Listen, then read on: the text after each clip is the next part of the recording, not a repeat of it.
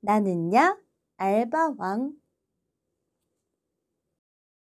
오늘 나는 1일 택배 아르바이트를 하러 왔어요.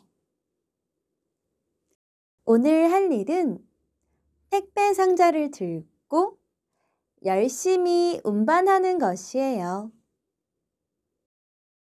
가끔 택배 상자가 많아서 당황할 때도 있었지만 그럴 땐 카트를 이용해서 무거운 택배 상자를 운반할 수 있어요. 빠르게 운반하기 위해 스쿠터를 타고 이동해요. 더 빠르게 운반하기 위해 트럭을 타고 이동해요. 우주에 로켓을 타고 배달을 하는 상상을 했어요. 언젠가 우주에도 배달하는 날이 올까요? 그러면 이야기에 나오는 단어들도 공부해 볼까요? 알바, 알바, 왕, 왕, 오늘, 오늘, 택배,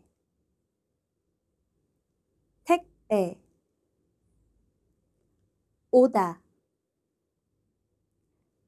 오다, 왔다, 왔다, 상자, 상자, 들다, 들다, 열심히, 열심히,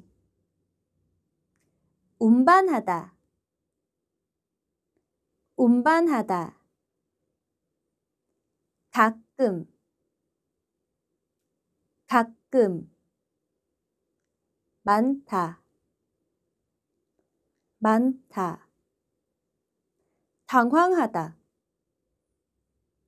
당황하다, 이용하다, 이용하다, 무거운,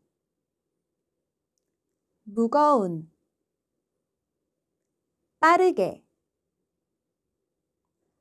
빠르게, 타다, 타다, 이동하다, 이동하다, 우주, 우주, 배달하다, 배달하다, 상상, 상상, 언젠가, 언젠가, 날, 날. 그러면 다음 이야기에서 만나요. 안녕!